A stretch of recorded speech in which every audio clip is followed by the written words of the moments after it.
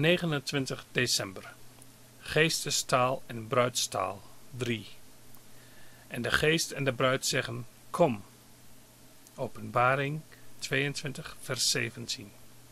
Lezen Openbaring 22, vers 12 tot 17. Het gebed om de grote komst is niet alleen kerkelijk, maar ook echt menselijk. Ze is weer origineel menselijk, oermenselijk. Ze is dat wat van de aanvang van de wereld af echt menselijk mocht heten. In haar kermt niet de smalle gemeente, doch in haar komt het breedste, gezuiverde, door herschepping herwonnen creatuurgebed weer in de taal naar voren en naar boven. Het is geen wereldzatheid die zo roept, want wat de ene bidder, de geest, betreft, hij is als God van Gods werk nooit verzadigd, nooit de wereld, nooit de dagen zat. En wat de ander betreft, die ook bidt, de kerk dus, zij komt hier niet voor als de levensmoede, afgeleefde, levenszatte, afgescheiden secte, doch als de bruid. En welke bruid is ooit de dagen zat? Zij is zo jong als iemand jong maar zijn kan. Zij aanvaardt de som van al haar levensdagen en stelt ze dienstbaar aan de grote toekomst van hem, voor wie ze is, met al het hare. En niet slechts positief en kerkelijk creatuurlijk, doch ook waarachtig goddelijk is dit gebed. Want de bruid bidt niet alleen, de geest bidt zelf voor haar, en ook in haar, boven haar en binnen haar. Kom haastig. Die geest, als alverbinder, alverener, als de zingever in de wereld en als de zinspreker in de heilige drie-eenigheid, ook hij roept om de grote komst. Want door die grote komst van Christus wordt hij zelf ontheven van de door hem voor een tijd aanvaarde noodzaak van de toebrenging van de verkorenen.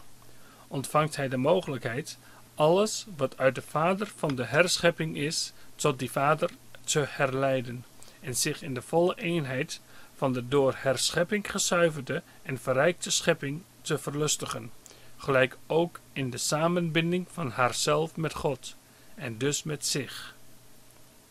Is het nu onnodige speculatie over afgetrokken dingen, als wij tegen het einde van het jaar over zulke dingen met elkaar spreken?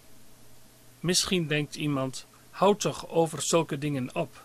Spreek mij liever over de verse graven waarin we in 2012 een lichaamsrest hebben weggeborgen, of over onze omstandigheden, onze werkeloosheid, de crisis en wat meer in de krant gedrukt is. Maar in alle ernst vraag ik: is dat wat u nodig hebt? Niet wat u of ik in de eerste plaats met onze gevoeligheid beroeren, doch wat God de Heere beweegt. Dat is voor onze aandacht en voor haar zuivering van betekenis. Gij hoort het gebed. Als iemand dat zo zegt, dan vinden wij dat allen stichtelijk. Dat komt voor een deel ervan dat wij stilletjes van horen, verhoren gemaakt hebben. Maar dat mag natuurlijk niet. Dat is even hinderlijk en bedorven kinderlijk als wanneer ons kleintje thuis het van meer betekenis vindt dat het een cadeautje krijgt dan dat vader of moeder echt wezenlijk luisteren naar wat er in het roepen van dat kind toch eigenlijk openbaar komt aan diepe menselijkheid. Zo nu moeten wij het weer stichtelijk gaan vinden, dat God hoort het gebed. De verhoring is pas nummer twee. De kleintjes kijken naar het resultaat, de verhoring, en hebben geen oog voor het horen. Maar de man in Christus let verbaasd op dat wonder, dat God hoort. En ik denk dat de oudejaarsavond toch wel een avond is om te vragen of wij nu al een man in Christus zijn geworden. God hoort dus het gebed. Goed.